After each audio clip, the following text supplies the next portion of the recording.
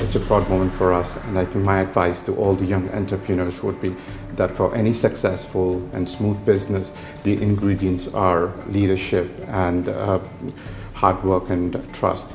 I think if you put all the um, leadership efforts and trust into your employees, they will become your real assets. Employees are today one of the greatest assets for any growing company.